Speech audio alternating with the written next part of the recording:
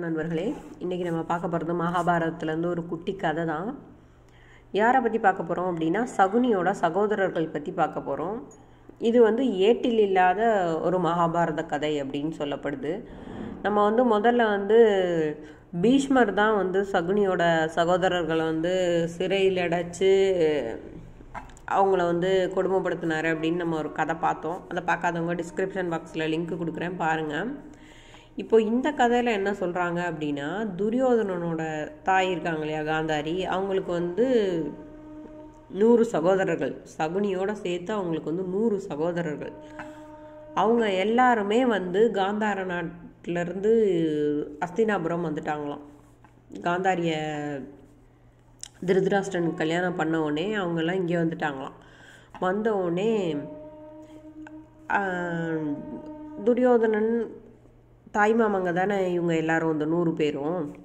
அப்படி இருந்ததுனால அரண்மனையில் வந்து எந்நேரமும் சகுனியின் சகோதரர்கள் வந்து அங்கேயும் இங்கேயும் போயிட்டு வந்துக்கிட்டே இருப்பாங்களாம். முன்னாடி காலத்துலலாம் தாய்மாமன் அந்த மாதிரி பெரியவங்க ஆன்றோர் சான்றோர்கள் ஆசிரியர்கள் இவங்களெல்லாம் பார்த்தா உடனே எந்திரிச்சு நின்று மரியாதை செய்யணும். அதான் வந்து அவங்களுக்கு கொடுக்குற நம்ம ஒரு மரியாதை. அப்படி இருக்கப்போ இந்த இளவரசர்களாக இருக்க துரியோதனன் துச்சாதனன் அவங்கெல்லாம் இருக்காங்க இல்லையா? இவங்க நூறு பேர் இருக்காங்க இல்லையா? எப்போ பார்த்தாலும் இவங்க வந்து உட்காரவே முடியாதான். அழுத்து செலுத்து போய் உட்காந்தாலும் யாராவது ஒரு மாமா வந்துடுவாங்களாம் உடனே எந்திரிச்சு நின்று வணக்கம் சொல்லணுமா? இப்படியே நடந்துட்டு இருந்திருக்கு. ஒருத்தர் கூட நிம்மதியாகவே இருக்க முடியலையா? ஒரு இடத்துல உட்காரலான்னு பார்த்தா அப்போ தான் ஒருத்தர் வருவாராம். சாப்பிட்லான்னு பார்த்தா அப்பயும் எந்திரிச்சு நிற்கணுமா அவர் வர்றாரு இவர் வர்றாருன்னு சொல்லிட்டு. நூறு பேர் நான் யோசிச்சு பாருங்கள் அந்த பக்கம் இந்த பக்கம் போயிட்டு வந்துட்டு போயிட்டு வந்துட்டு இது ஒரு பெரிய அழுப்பாக போயிடுச்சான் துரியோதனனுக்கெல்லாம். ரொம்பவே சலிப்பாக இருந்துச்சான் என்னடா இது எந்நேரமும் ஒரு நிம்மதியாக ஒரு தூங்குற நேரம் தவிர மித்த எல்லா நேரத்துலையும் எந்திரிச்சு எந்திரிச்சு உட்கார வேண்டியது இருக்குது அப்படின்னு சொல்லிட்டு என்ன பண்ணாராம்? அந்த மாமன்மார்கள் நூறு பேரையும் சிறையில் அடைச்சிட்டாராம். இதெல்லாம் ரொம்ப தொந்தரவாக இருந்ததுனால. அந்த சிறையில் அடைச்சி இவங்க நூறு பேரும் உயிரோடு இருந்தால் தானே நமக்கு இந்த பிரச்சனை எல்லாம் இவங்களை எல்லாரையும் கொன்றுவோம் அப்படின்னு சொல்லி தீர்மானம் பண்ணிட்டானா துரியோதனன். சிறையில் உள்ள எல்லாத்துக்குமே வந்து உணவு ச தரணும் இல்லையா? உணவு கொடுக்குறது தான் தர்மம். அந்த தர்மத்தை வந்து மீற மீறாமல் இருக்கணுங்கிறதுக்காக ஆளுக்கு ஒரு பருக்க ஒரே ஒரு பருக்கை மட்டும் கொடுத்தானா நூறு பேருக்கும். ஆளுக்கு ஒவ்வொரு பருக்க சோறும் நீரும் கொடுத்தானா? கொடுக்கவும் உடனே இவங்க எல்லாரும் மூத்தவனாகிய சகுனிக்கிட்ட வந்து சொன்னாங்களாம் இந்த மாதிரி நாங்கள்லாம் உயிரோட வந்து பிரயோஜனம் இல்லைன்னு. யாராவது ஒரு ஆள் இருந்து இவங்களை வந்து பழி வாங்கணும். இவன் வந்து நம்மளை எப்படி பண்ணிட்டானே அப்படின்னு சொல்லி சொன்னாங்களாம். அந்த நூறு பேருக்கு கொடுக்குற பருக்கையும் சகுனிக்கு மட்டும் எல்லோரும் கொடுத்தாங்களாம். கொடுத்து மித்த எல்லாருமே வந்து உயிர் திறந்துட்டாங்களாம்.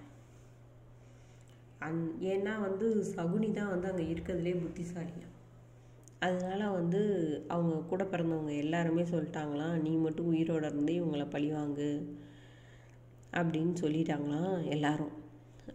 சொன்னதுனால சகுனி மட்டும் அந்த எல்லாருக்கும் தர்ற அந்த ஒரு பருக்கை சாப்பாடு தண்ணி இது எல்லாத்தையும் கொடுத்துட்டு இருவாழ்த்துட்டு இருந்திருக்காரு ஒரு நாள் வந்து அவங்க எல்லாருமே இறந்துட்டாங்களாம்.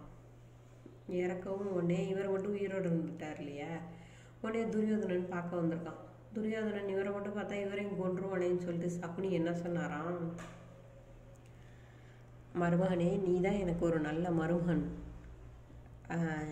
நூறு பேரில் ஒருத்தனாக வந்து நான் இருந்தேன். அப்போ வந்து எனக்கு அரியணை கிடைக்குமா? கிடைக்காதா? அப்படிங்கிற ஒரு எண்ணம் எனக்கு இருந்துக்கிட்டே இருந்துச்சு. ஆனால் நீ இந்த தொண்ணூத்தொம்பது பேரையும் கொண்டுட்டு என்னை காந்தார நாட்டுக்கு என்னை அரசனாக்கிட்ட ரொம்ப சந்தோஷம் வருவாங்கனே அப்படின்னு சொன்னாராம்.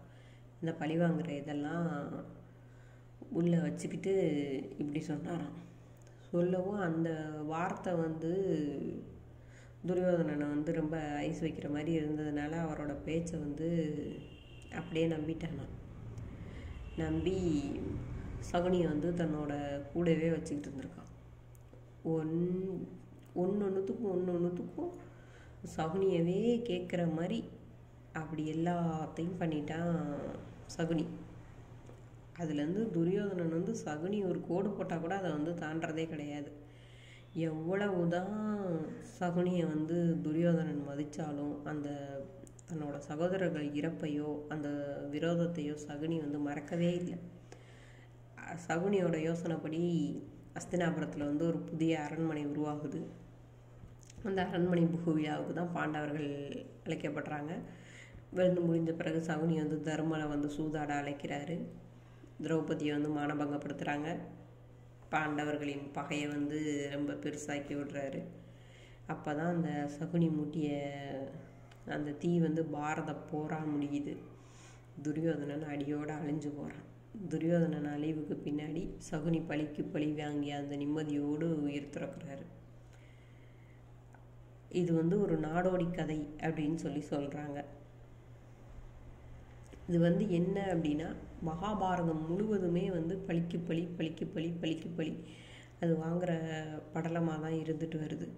இந்த பழிக்கு பழிங்கிறது இல்லாமல் அந்த மன்னிப்பு விட்டு கொடுத்தல் இதில் ஏதாவது ஒன்று இருந்துச்சுன்னா வந்து அடுத்தடுத்து அடுத்தடுத்து இந்த நிகழ்வுகள்லாம் இல்லாமல் நம்ம வாழ்க்கையிலையும் தவிர்த்துக்கலாம் அப்படிங்கிறத தான் இந்த கதை நமக்கு புரிய வைக்குது.